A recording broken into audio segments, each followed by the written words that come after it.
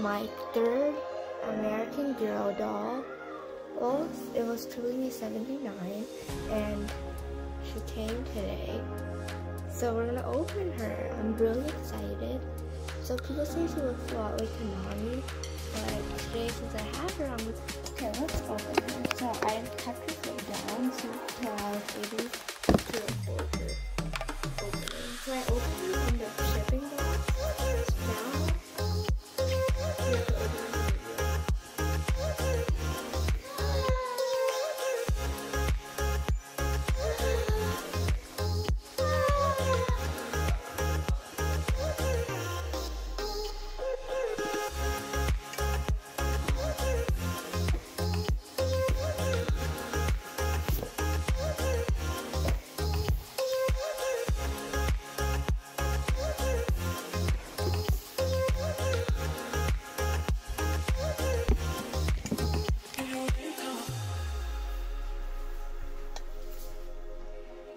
Okay, so she's looking good. Um, I'm just taking it closer to look at her eyes because people had a complaint saying her one eye is bigger than the other. And she has a nose, so she's looking at down a lot. That's okay.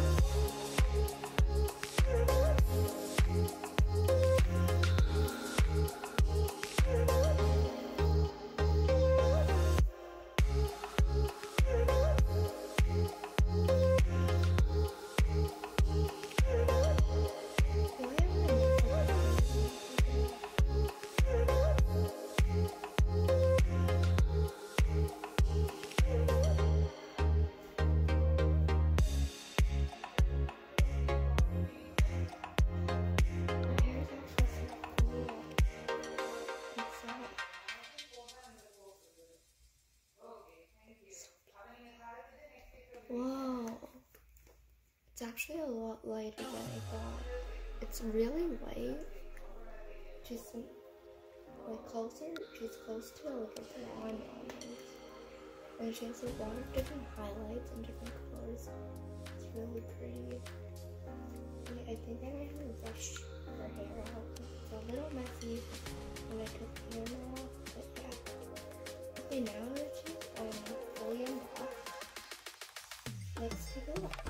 So, she has really nice light brown hair.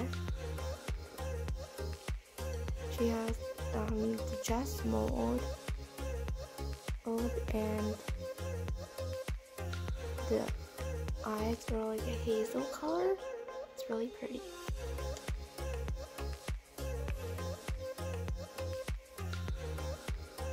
She has a medium white skin tone.